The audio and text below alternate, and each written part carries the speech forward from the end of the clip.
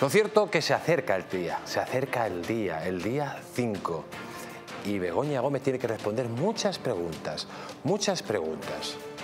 El juez Peinado, que está aguantando como un león los ataques de la prensa ahora que si tiene dos DNIs, que si con un DNI coge y compra unas casas con otras casas. La verdad que es que esto ya es un escándalo lo que está pasando con este gobierno.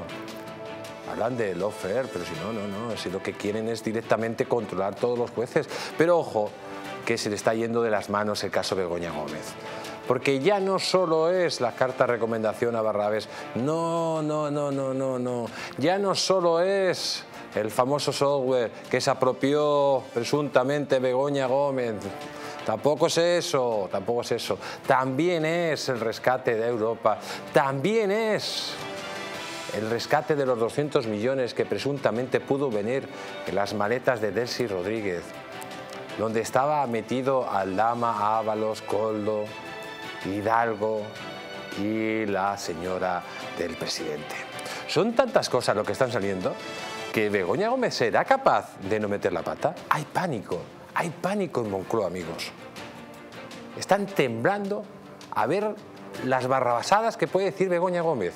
Es verdad que Camacho es un gran abogado, pero Begoña Gómez tiene un don de palabra, pues bueno, que no coincide con su don para conseguir fondos públicos.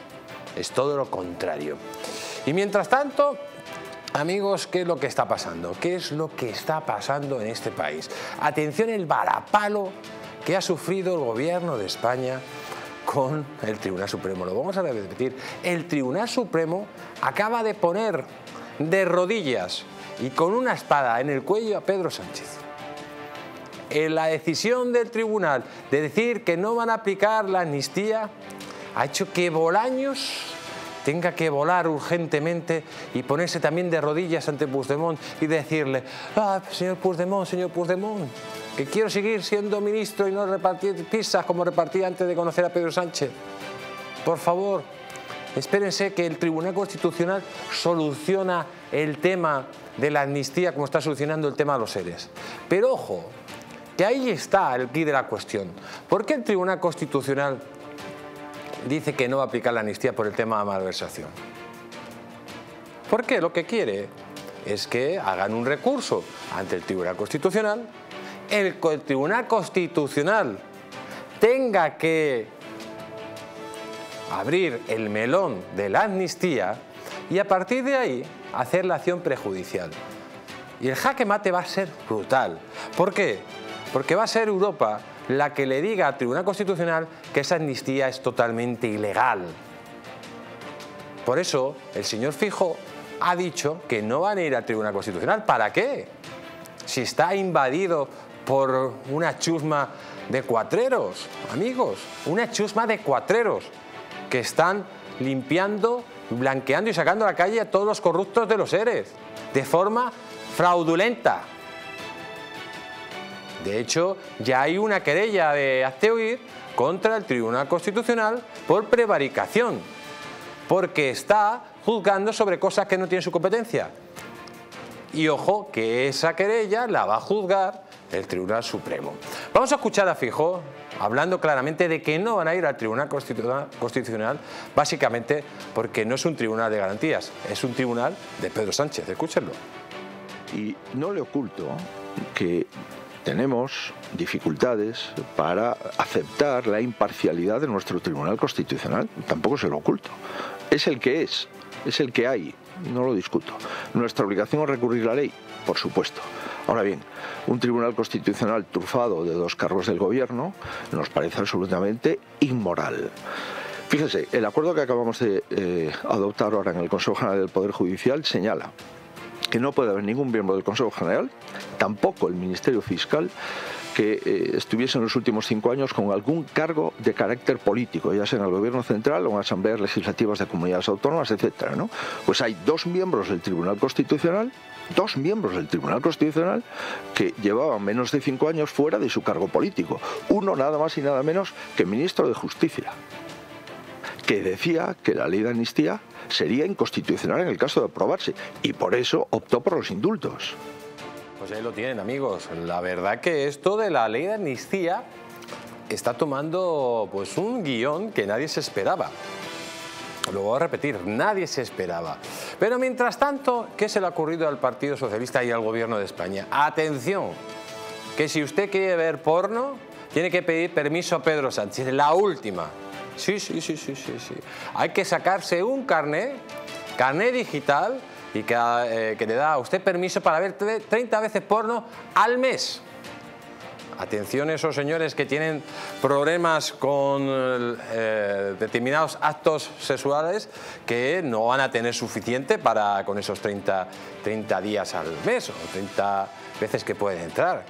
Pero quitando, digamos, la broma, lo que es lamentable, amigos, que este gobierno se meta ya hasta las veces en que se puede masturbar o no se puede masturbar una persona. Hasta el punto hasta este punto están limitando las libertades en España. Hasta este punto nos quieren controlar, amigos.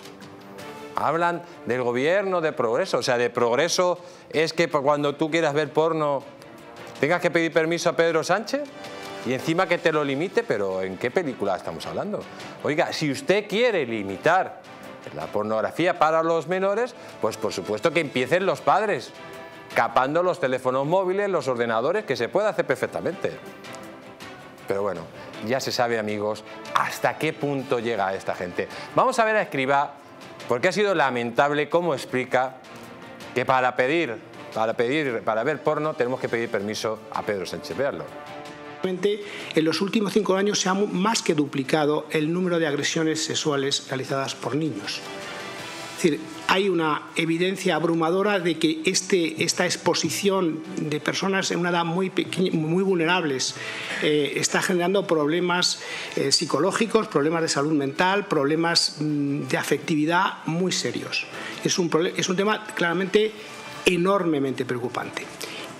Y en ese contexto hemos llegado a la conclusión de que algo que se puede hacer ya y que es eh, útil y, eficaz es simplemente un procedimiento de verificación de la edad que protege completamente el, anonimato de aquel que se está identificando, pero que eh, eh, tiene como resultado, con la colaboración de todos, que eh, solamente aquellos que son adultos accedan a determinadas páginas etiquetadas como pornográficas. Lo único que estamos pidiendo a los adultos es un pequeñín esfuerzo de que se identifiquen con un sistema que es muy cómodo, muy fácil y que no va a generar ningún problema. Como todo en la vida, hay que equilibrar distintos principios y el principio superior de protección del menor en un contexto extraordinariamente preocupante es el que debe primar y buscar soluciones que además, al mismo tiempo, aseguren completamente eh, eh, la, privacidad eh, de las personas y sus decisiones sobre qué quieren ver o no ver. Muy bien. Amigos para justificar que hay que pedir permiso a Pedro Sánchez para ver porno, directamente qué es lo que dice este señor. No, es que los menores han aumentado las agresiones sexuales de los menores, pero no será por el porno, será por la ley del menor. Será por la ley del menor. Cambie usted la ley del menor. Y póngale, a, a partir de los 12 años tiene la misma pena que un adulto. Ya verá cómo bajan las agresiones sexuales de los menores. Pero no ponga un carnet digital para para ver eh, porno. Pero es que esto, amigos, parece de chiste, pero es una más de las limitaciones de las libertades que suele hacer el socialismo. Cuando hay socialismo, el socialismo mata y mata la libertad y el progreso. Y es que, ojo, a la noticia que tenemos hoy. Atención, la bomba informativa. Ya la anunciamos la semana pasada. Estuvo aquí Luis María Pardo diciendo que iba a impugnar las elecciones del 9J, las elecciones europeas. Hoy, hoy ya se ha puesto esa reclamación, esa impugnación de las elecciones ante el Tribunal Supremo de España. Es la primera vez en España que unas elecciones europeas, que unas elecciones europeas son impugnadas ante el Tribunal Supremo. Y es que dirán, ¿Por qué se impugnan? Si ha sido, nadie ha reclamado ningún partido. Hombre, la verdad que es que eh, hay la justicia europea, que es el partido que lo reclama, hay que llamarle valiente. ¿Por qué? Por una sencilla razón, amigos. Aquí no se ha cumplido el umbral del voto mínimo. Por ejemplo, para que tengan el voto mínimo, o sea, para que tengan representación los partidos según la ley europea, se habla de un 3,5. El PNV tiene 1,6, un 2,4 y el conejito de Duracén, la Montero, la de Podemos, tiene un 3,2. Esos partidos no tendrían que tener ya representación. Fíjese si, si se está vulnerando la ley. Porque hablan de que no, es que esto, esta normativa europea no, no ha habido transposición en España. No, oiga, es que va automático. Si a ustedes le dan más de 60 escaños, en este caso 61, automáticamente el umbral pasa a 3,5. No, pero es que no ha habido transposición, ya, pero es que en el 2019 el, umbral mínimo era 2%, por lo tanto el PNV no entraría. Pero hemos visto, por ejemplo, papeletas fraudulentas del PNV, papeletas diferentes en una zona de España y en otra. Hasta ese punto lo hemos visto. Y lo de siempre, pues básicamente que no se cumple la ley electoral, no hay un escrutinio, no se suman las, no se suman las actas, eh, ha habido violencia, insultos de responsables de las juntas electorales provinciales y directamente la Junta Electoral Provincial, eh, provinciales y la central no cumple la ley. Y ante tanta, tanta irregularidad, pues se va al Tribunal Supremo. Y si el Tribunal Supremo no quiere hacer nada, se irá al Tribunal Superior al Tribunal de Derechos eh, de, Justicia europeos.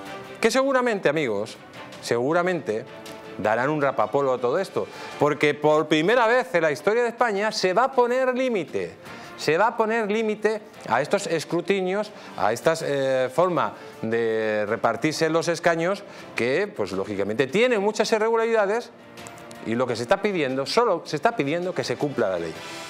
Si por pedir que se cumpla la ley uno ya es un, eh, bueno, un exagerado, un ultra, etcétera, pues amigos, somos ultras y queremos que se cumpla la ley. ¿Por qué? Porque aquí queremos, creemos en el imperio de la ley.